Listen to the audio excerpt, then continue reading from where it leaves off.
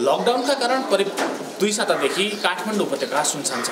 सधैँ भिडभाड हुने काठमाडौँको लकडाउनको अवस्थामा दैनिकी कसरी चलिरहेको छ आज हामी देखाउने प्रयास गर्दैछौँ। यही क्रममा हामी काठमाडौँको इन्द्रचोकमा आइपुगेका छौँ। बिहानको साढे सात बजे।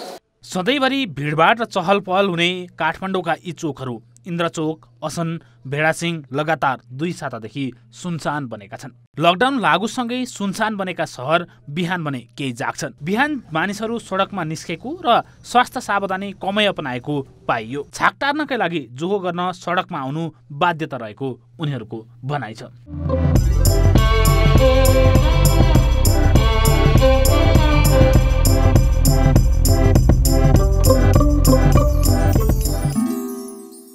त लागेको छैन यसो हल्का हल्का आफ्नो तरकारी हो होइन त्यो। बिहानको समयमा मुख्य सडक सुनसान भए पनि भित्री बजारहरूमा मानिसको चहल पहल बाक्लो थियो अहिले दस बज्न लागेको छ हामी काठमाडौँको मुख्य सडकमा छौँ। अफिस समय भएका कारणले गर्दाखेरि पनि सडकमा सवारीको चाप बाँच्न थालेको छ।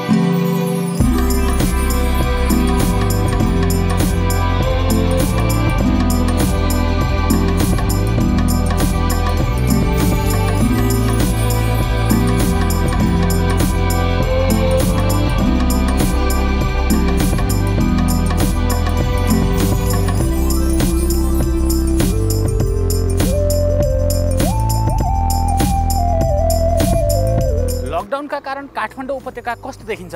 बिहानैदेखि हामी रिपोर्टिङ गर्दै यति बेला दिउँसोको दुई बजे नारायण गोपाल चोकमा आइपुगेका छौँ। अत्यावश्यक सेवा बाहेकका सवारी साधन ठप्प हुँदा मुख्य सडक सुनसान बनेका छन्।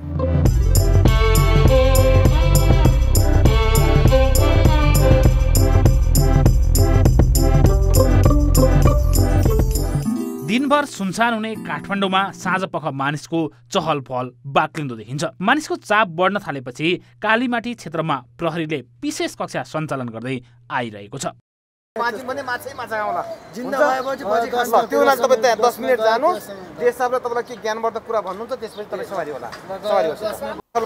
साग सब्जी हरियो खाउँ माछाको लागि टाइम पासको लागि।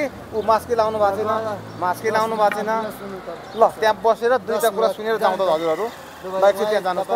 यसप्रति कतिपयको गुनासो समेत छ। एक हिसाबले त राम्रै हो हाम्रो लागि नै हो।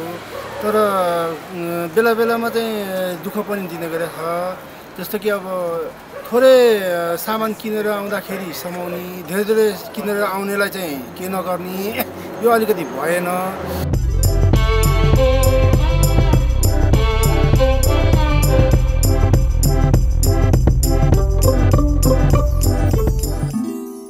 लकडाउनको कार्यान्वयनको अवस्था कस्तो छ बुझ्दै बिहान करिब सात बजीदेखि काठमाडौँका विभिन्न ठाउँमा हामी पुग्दै आएका छौँ।